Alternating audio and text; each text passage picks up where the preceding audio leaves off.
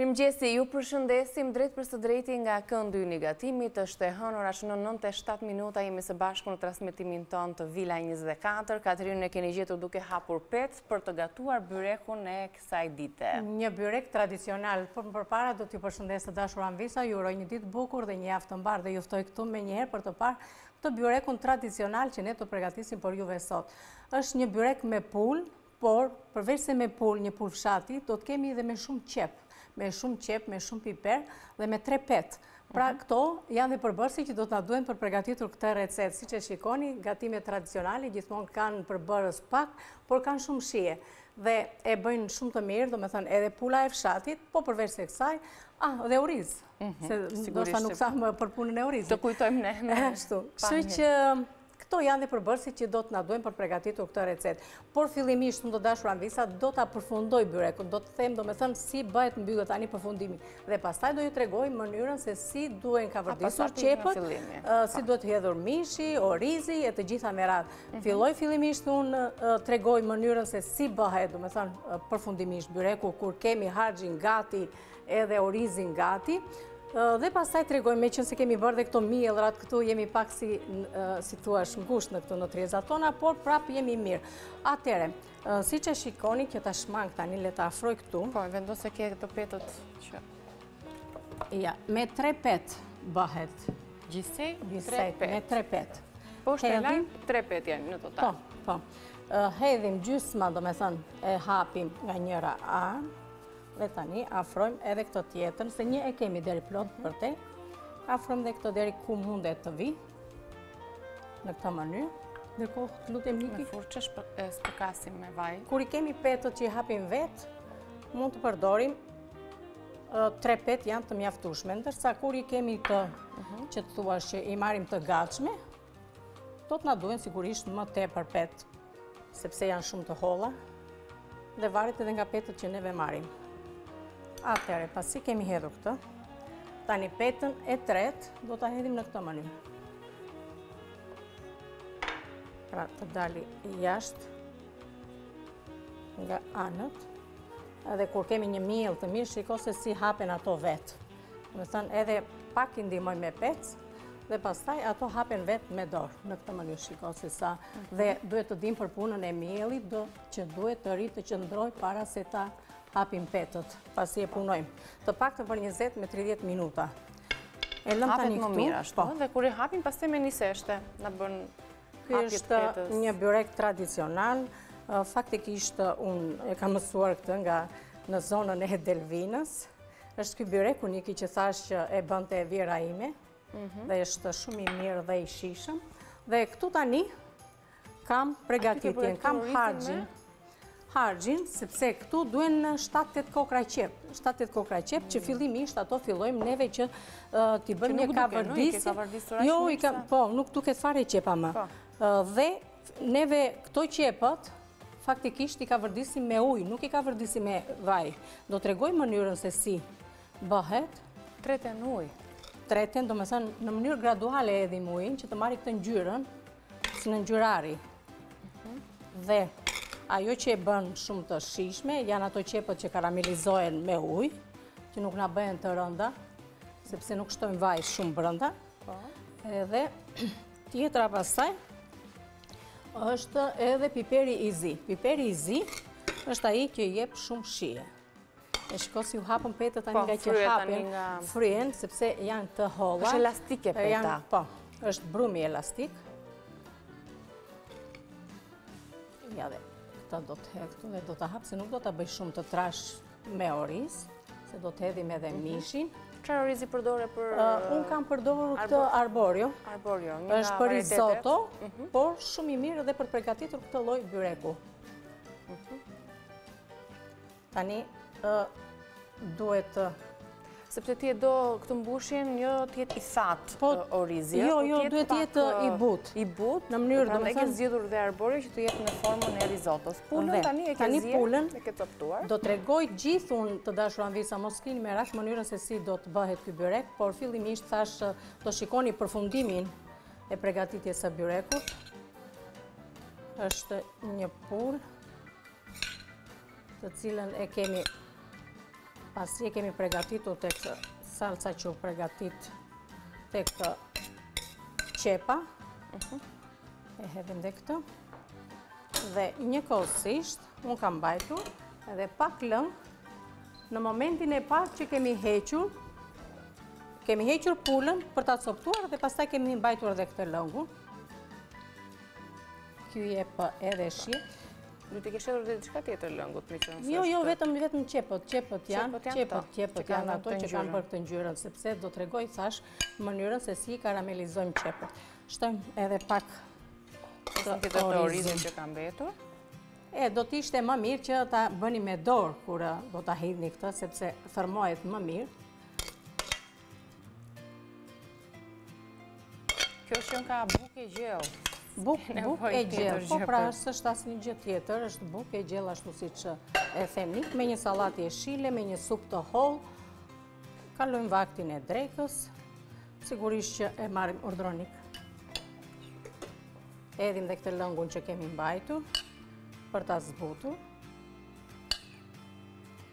Edhe, Dhe gati për ta mbështjellë. Tani është gati për ta mbështjellë. Fillimisht filloj me petën e parë. Në këtë mënyrë. E hapim. Shikoni se si hapet vetë peta. Ja. Shumë bukur. Ja. Sa më shumë ta tendosim, si themi ne, aq më shumë hapet kjo. Dhe janë të holla petët, kështu që kemi vetëm mbushjen... Tani, vajin, përsëri.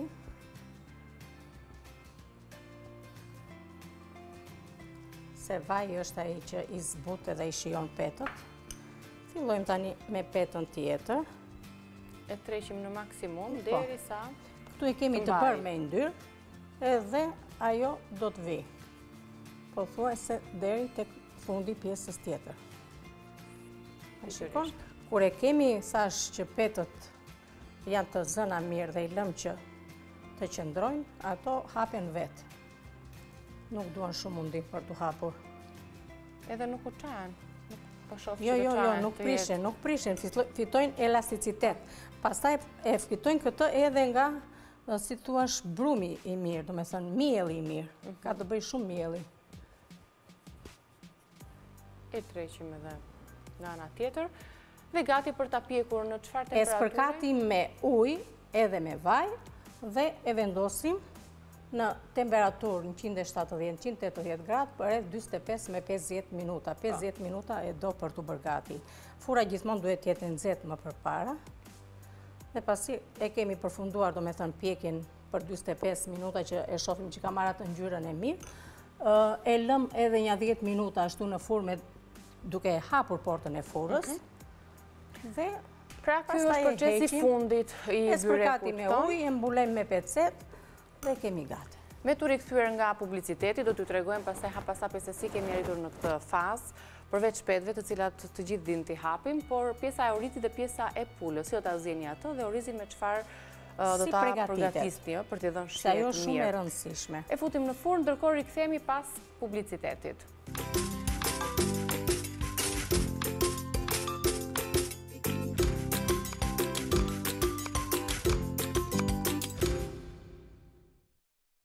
në studion tonë, t'ju tregojmë tani si e përgatitëm byrekun me pulë dhe oriz. Më parë, le të lexojmë përbërësit si thua, po mund të lexosh përbërësit ti Niki dhe unë filloj me qepën fillimisht për të treguar në një tenxhere që nuk kam vaj, s'ka yndyrë, dhe thamë fillimisht neve do ta kavërdisim me ujë. Pa vaj.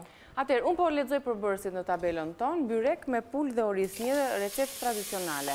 Një pulë fshati na nevojitet, pesëqind gramë oriz, shtatë tetë qepë të thata, të cilat kanë një mënyrë të veçantë përgatitjeje, tre katër petë të përgatitura vetë ose një pako peta të gatshme, vaj ulliri, kripë, piper të zi, Dhe një mijë e dyqind ose një një litër gati gati ujë ose lëng pule. Tani e fillojmë me qepën. Atëherë, fillimisht vendosim në tenxhere qepën pa ujë, siç e kemi grirë dhe e kemi larë dhe e hedhim në tenxhere menjëherë pa yndyrë. E lëmë që të fillojë të na zbutet, të kavërdiset dhe të na marrë si një ngjyrë të karamelo, të marrë një ngjyrë karamele në fund. Edhe kur e shohim që është në atë fazë, shtojmë nga pak ujë, duke u tharë qepa, duke shtuar nga pak ujë, dhe kjo bëhet gjersa qepa të tretet dhe të marrë një ngjyrë të, si t'i thuash, në ngjyrë karamele, si në ngjyrë ari. Atëherë e kemi gati për të treguar, domethënë të vazhduar më tej që është pjesa e mishit që do shtohet, racionet e mishit që do shtohen pastaj tek qepa. Por fillimisht neve Pra ky është procesi më i gjatë besoj derisa zien pula. Ky është procesi më i gjatë. Tek pula çfarë hedhim tjetër? Po, se më duhet që ta mbyllim më thonë, po? A, tek pula domethënë pasi kemi hedhur pulën e lëmë që të ziejë për 30 minuta në temperaturë të avashtë për të ruajtur lëngjet, sepse hedhim gjysmën e sasisë së ujit, po? më mbrapa heqim racionet e mishit siç i kisha hequr unë edhe pak lëng, ai lëngu që unë hodha sipër, në momentin që është zierë pula. Pastaj, shtojmë ujin tjetër për t'u bërë ai pilafi, në raportin një me dy dhe një lugë më tepër, pra një garuzhde më tepër ujë që të jetë ashtu si si të thuash pak si kremoze pilafi, jo i thatë fare. Dhe më mbrapa ishte ai procesi i fundit që neve bëmë kur heqim mishin e hedhim me gjithë kocka, racionet e mishit i hedhim me gjithë kocka, sepse ajo është që të nxjerrë atë lëngun e shijshëm të mirë. Më pas e coptojmë, heqim ato veç pjesën e kockave, e coptojmë dhe e kemi gati. Tani mund të tregoj këtu, nëse kemi kohë, të tregoj si fillon. Jo, ne do ta mbyllim tani, takohemi në pjesën tjetër, ndoshta do të kemi më tepër kohë për të treguar detajet.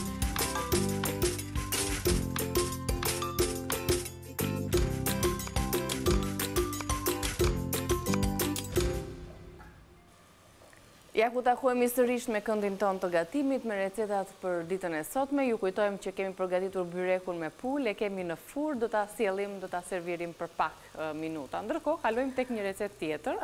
Nuk do kalojmë Niki te receta tjetër para se të them, po, të të tregoj sepse edhe atë e kam përshpejtuar se ajo një supë është dhe kuptohet shumë, por dua t'i jap rëndësi këtij lloj byreku dhe thamë që fillimisht ne fillojmë që të kavërdisim qepën, ta zbutim me ujë. duke marrë si të thuash një ngjyrë të kuqeremë, domethënë të zverdhur qepa, karamelizohet, ne shtojmë herë pas here ujë, derisa ajo të zbutet dhe të ketë një trajtë të tillë, domethënë të bëhet karamele. Dhe tani nuk shtojmë më ujë, por do të shtojmë vaj. Tani do të hedhim vaj. Tani shtojmë vajin pra. Dy tre lugë vaj është mjaftueshëm. Hedhim vajin. I bëjmë një përzierje dhe më mbrapa këtu shtojmë racionet e pulës. E zëmë se kemi një pulë të plotë. Tani unë kam mbajtur thjesht për të demonstruar, për të treguar mënyrën se si bëhet. Urdhëroni, faleminderit. Dhe hedhim racionet e pulës, e kavërdisim që të shijohet tani me qepën e karamelizuar, që e karamelizuam me ujë dhe jo me vaj. Do t'i hedhim këtu piper, piperi i shkon shumë, Do t'i shtoj tani edhe krip, pakëz krip, të shijohet edhe mishi, pra racionet e pulës të shijohen. Dhe ndërkohë jemi kujdesur këtu që të kemi ujë të nxehtë. Ujë të nxehtë në raportin e masës së pilafit. Nëse do të kemi dy filxhanë oriz, do të kemi pesë filxhanë ujë. Ose lëng mishi, ose lëng pule, ose lëng perimesh. Këtë e përzgjidhni vetë juve. se çfarë doni që t'i hidhni për ta shijuar akoma edhe më shumë. Tani, në kohën që është bërë gati, nuk e hedhim të gjithë ujin, po hedhim gjysmën e sasisë së ujit për t'u zier pula dhe duhet ta lëni edhe pulën që të karamelizohet, domethënë të ndryshojë ngjyrë, të kavërdiset mirë, sepse kur kavërdiset, ajo shijon akoma edhe më shumë. Atëherë, ndërkohë, hidhni gjysmën e sasisë së ujit, i vendosni kapakun, e lëni në një temperaturë mesatare që të ziejë për rreth 30-40 minuta që të ziejë mishi, pastaj heqim racionet e mishit, më heqim edhe një garuzhde lëng nga i mishit dhe e mbajmë aty mënjanë. Mishin pastaj e pastrojmë nga kockat, e ndajmë në pjesë të vogla ashtu siç neve e kishim ndarë, dhe më mbrapa, te uji këtu që hoqëm racionet e mishit, do të shtojmë edhe pjesën tjetër të lëngut, dhe thamë atë në raportin, nëse do të kemi 2 filxhan oriz, do të shtojmë 5 filxhan ujë. Pra do të kemi 5 filxhan, nëse kemi hedhur në fillim 3 filxhan, do të shtojmë dhe 2 filxhan të tjerë, dhe do të shtojmë orizin. Pra do të shtojmë orizin, unë kam përdorur këtë oriz arborio, të cilin më përpara e masim edhe e përdorim. Ndërkohë, përveç kësaj, duhet që të lahet mirë disa herë në qesë, të shplahet mirë, dhe pastaj të hidhet brënda. Dhe jo vetëm, por nëse i referohemi pastaj edhe paketimit në kuti dhe në vakum, Bëhet diferenca e çdo lloj varieteti të orizit që ekziston në treg. Kompania Teruta është kujdesur që të sjellë ndryshimet e paketimeve të orizit Gold Premium Quality, duke rritur më tepër vëmendjen tek cilësia dhe tek vlerat ushqimore që ka orizi. Të gjitha varietetet tashmë vijnë me kutinë, me këtë linjë premium quality dhe në vakum, pra varietetet janë, siç mund ta shihni, arborio, karnaroli, parboiled, oriz i zi, basmati dhe jasmin. Në këtë variant, në këtë cilësi maksimale, vjen kjo kompani në çdo supermarket. Gjejeni, kërkojeni, gatuajeni dhe do të na kujtoni për cilësinë dhe sa bukur dhe sa këndshëm duket. Sigurisht, Niki, amvisat e panë, fillimisht fare, se si ishte orizi, domethënë, se si e kishte ajkosur atë masën që neve përgatitëm, po përveç kësaj e ruante edhe atë kokrrën, ashtu kokërr të rrumbullakët edhe të mirë, përveç se pastaj edhe atë shijen e mirë. Pra, po. me këtë lloj orizi do të bëni edhe rizoto të mira, po edhe byreqe të mira, përveç se këtij lloj byreku me oriz, kemi dhe një tjetër lloj byreku me oriz që bëhet me erëza edhe me djath, por jo vetëm, përdoret gjerësisht në gatime të ndryshme. Mhm. Ndërkohë që unë do të them për sot kisha menduar, po kisha menduar për të pregatitur një supë. Është shumë e thjeshtë për të pregatitur supa, prandaj edhe e lashë, domethënë, të fundit dhe e kam përshpejtuar si recetë. Veçse ajo që dua që të them për pjesën e specave, këtu fillimisht kam hedhur qepë, kam hedhur vaj sigurisht, vaj gjalpë, dy lugë vaj, një lugë gjalpë nëse doni, ose mund ta bëni vetëm edhe me vaj, nëse doni, Më mbrapa qepën, hudhrën, kam shtuar sipas dëshirës mund të shtoni edhe dy tre patate dhe ajo që do t'i bëj sepse e them supë me speca, janë këto specat e kuq të cilat unë i kam vendosur në sobë, në grill të sobës për t'u pjekur rreth pesëmbëdhjetë minuta. Pastaj i vendosim në një letër guzhine, ose në një membranë, ose në një qese, që të jenë të buta. Të zbuten, dhe pastaj, kur ato zbuten, e hiqni shumë kollaj këtë pjesën e lëkurës, dhe pastaj këtë, e merrni, e grini dhe e hidhni brenda te supa. Po. Pra, kjo është pjesa, ja ta marrim ta hedhim dhe këtë, sepse kjo s'ka nevojë shumë që të ziejë, mhm. dhe përveçse kësaj, ju do t'i shtoni edhe Një spec djegës, sepse i shkon shumë, mhm. dhe kur përdorim këto speca djegëse, heqim këto pjesët e farave, nëse përdorim këto speca djegëse, jeshile, janë shumë të mira dhe kështu që nuk na bëjnë djegin shumë. Pastrojmë këto farat, mos ti ashtu se ata që kanë probleme stomakun i dëmton shumë. Është vërtet, farat, farat. Okej, dhe ata që kanë probleme stomakun, për këtë pjesën e specit djegës, ta kenë pak më me... Patjetër edhe pjesa e cipës së specit, prandaj dhe e pastrojmë në këtë mënyrë, kështu që na bëhet më e lehtë mhm. si gatim, dhe kemi komplet gjithë shijet e specit. Atëherë, e hedhim edhe këtë brenda këtu, Ndërkohë që jemi kujdesur po të kemi, këtu tani, thamë, fillimisht kemi qepë hudhër patate, kemi shtuar këto specin djegës dhe këto specat e pjekura. Këto, asnjë gjë tjetër. Një kavërdisje, e hodhe dhe lëngun? Një kavërdisje të lehtë duan për të shijuar dhe pastaj shtuam edhe lëngun e pulës, mund të mhm. shtoni lëng pule, ujë ose lëng mishi. Këtë e përzgjidhni vetë juve. Mhm. Këto, por sigurisht pra. janë supa që hyjnë tani në këtë kohë, po. fillojnë që të përdoren dhe sigurisht që kemi nevojë dhe bëhen shumë të shijshme dhe aq më të shijshme i bën sepse speci ka vitaminë C pa fund.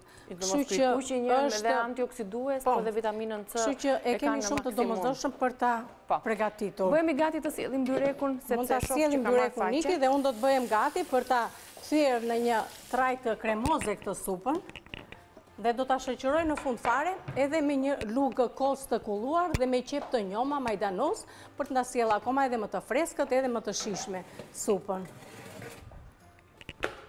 Ky byreku është aq i rëndë se ka kaq shumë gjëra brenda. Ja ku është tani byreku ynë i përfunduar. Në mënyrën tradicionale ne spërkasim me ujë që të zbutet, edhe e mbulojmë me një pecet guzhine. E lëm që të ulet temperatura. Po, ja kështu. Nga avulli që do dali, do të... Ashtu, edhe Një pecet guzhine, ja kështu. Dhe ajo qëndron e butë. Nëse e do një kërce, të fort. Nëse duam të fortë. S'e spërkasim. Ashtu, kështu që neve tani bëjmë edhe këtë supën tonë gati që ta servirim edhe supën. Të cilat mund të shoqërohen dhe me njëra tjetrën, apo jo? Po, po. Nuk ka problem, domethënë që të... Një nga ato bështetësit. Dhe e kalojmë në blender. Supë krem me spec të kuq. Dhe shumë e shijshme. Qepën, pataten. Më pas specat në formën që... Se marrin dhe një tjetër shije kur piqen ato në fakt. Ajo është e rëndësishme. Përveç asaj që heqim cipën, por edhe ajo shija shumë e mirë. Përveç se kështu, ne i bëjmë edhe gogozhare. Janë shumë thjesht për t'u pregatitur nëse i pjekim specat, pastaj u hedhim pakëz kripë në brëndësi, i hedhim pakëz piper, Hudhër të grirë mirë, pak vaj dhe majdanoz dhe i vëmë kështu në radhë në një, si t'i thuash, enë dhe i kemi për gjithë javën për t'i konsumuar. Po, po. Duhet ta provojmë që ta kemi në konsideratë një supë të tillë, që të na shoqërojë gatimet, po përse jo të jetë dhe një supë si pjatë. Bëhet një supë shumë e mirë, Miki. Si të doni. Edhe ngjyra e mirë dhe kur hedhim dhe atë kosin pastaj brënda, që kemi atë kosin e ftohtë edhe kemi atë djegien pikante të speci djegës me kosin qëndron shumë mirë.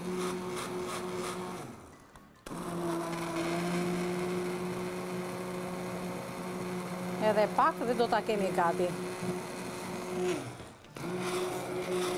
Dhe s'na mbetet gjë tjetër vetëm ta servirim këtë supë, të cilën ta servirim me qepë të njoma, me majdanoz, me kos të kulluar, sikundër thamë, qepët e njoma do t'i presim në fije të holla, edhe për ngjyrë edhe për shije. Ndërkohë, Miki, unë do servis supën, neve do ta zbulojmë këtë byrekun dhe ndoshta e presim pak që ta shohim se si është bërë edhe nga brënda, veçse kujdes ta heq këtë. Do ta lë kshu të mbuluar që të jetë i butë. Ta heq këtë pjesën e kësaj më Po, ndërkohë sa Katerina bëhet gati, ne gatuajmë gatimet e shijshme na rrisin dhe na bëjnë të qeshim ëmbëlsisht me shijet që na sjell, sa e mirë kjo, sa e mirë ajo, pastaj kur mbushet ai lavamani plot me enë, nuk është se zgjat shumë ajo buzëqeshje. Dhe për atë kemi zgjidhje, Miki, jo, në momentin që neve kemi këto, Kemi zgjidhjen tonë, zgjidhjen tonë, sepse Deka ka bërë zgjidhjen e duhur. Vjen me Deka Gel Power që na rikthen buzëqeshjen. Pse do thoni ju? Sepse me një kalim të sfyngjeri,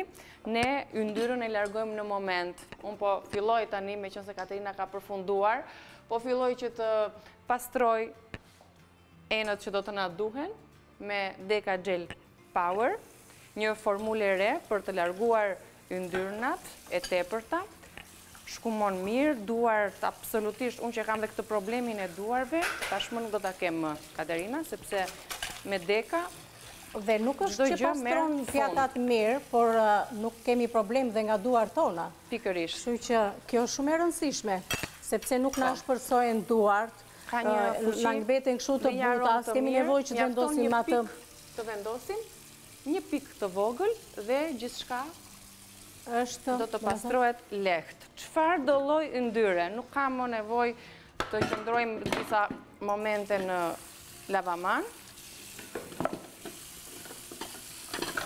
Aq e fuqishme ishte sa edhe Drastër Matheu në vete.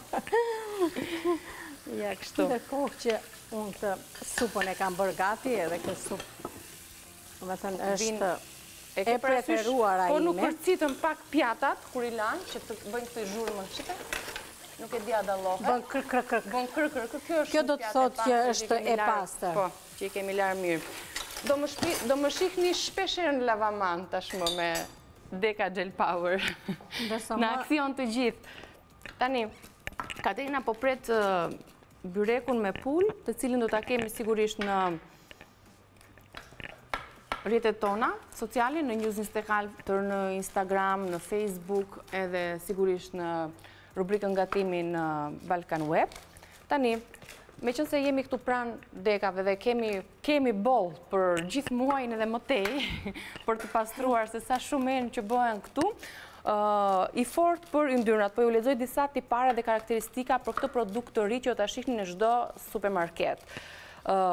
Deka Gel Power është i fortë për yndyrnat, i koncentruar, antibakterial, shumë ekonomik, sepse siç thashë me një pikë bën namin, kursen kohë, Dhe nuk do t'ia di më për yndyrnat, meqënëse në çdo guzhinë, sigurisht tava, pjata, tenxhere, sigurisht kanë yndyrna dhe në momentin që ato nuk lahen ngjisin, ose nuk duken të pastra edhe kur i vendos në dollap, largon yndyrat më të forta dhe ju jep rezultate të pabesueshme. Do ta provoni dhe do të kërcasin ato pjatat tuaja nga pastërtia do të ndriçojnë. I keni me limon, është antibakterial dhe është numri një në aksion. Me këtë moto, kjo kompani vjen edhe me detergjentin pra të enëve. Deka Gel Power, ua prezantuam që ta keni parasysh këtë produkt të ri në treg për të pastruar enët tuaja. Tashmë, i përfunduam gatimet për ditën e sotme, Katerina po na servir edhe byrekun që Jo gjithmonë kemi mundësi ta servirim për shkak se është i nxehtë sa herë që e sjellim nga furra dhe do kohë pak për t'u ftohur, por ja shoh që ia ka arritur ta ndajë. Byrek me pulë edhe me oriz, byrek tradicional dhe e shoqëruar me një supë me spec të kuq, për të cilën jemi kuriozë ta provojmë një herë, duke qenë se specat e kuq tashmë janë në treg. Dhe ç'është e vërteta, këtë byrekun nuk është se e bëra unë të mirë, e bëri ajo pula e fshatit dhe ky orizi. Absolutisht. Ky oriz, që është shumë cilësor dhe na jep cilësi edhe në gatim. Kështu që mhm. atë që them gjithmonë, nëse kemi produkte cilësore, do të kemi edhe gatime të mira të shijshme dhe të shëndetshme. Absolutisht, po. Faleminderit Katerina, të lumshin duart. Do t'i përshëndes tashmë amvisat, do t'i uroj një ditë të bukur, gatime të shëndetshme, do të shihemi nesër në kuzhinën tonë si gjithmonë me Katerinën, me receta pafund përditë e përditë, na ndiqni edhe në YouTube, klikoni News njëzet e katër, Vila njëzet e katër. Faleminderit, faleminderit Niki, mirupafshim, mirutakofshim nesër këtu. A keni pyetur ndonjëherë se çfarë kemi të përbashkët? Natyrisht që po. Është vazhdimësia. Forca apo inteligjenca?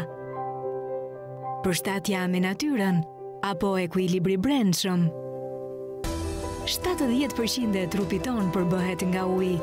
Forca dhe inteligjenca falë kripërave minerale. Ekzistenca është uji. Por bëni kujdes, jo çdo ujë i ka këto veti. Uji Fab, natyrisht po.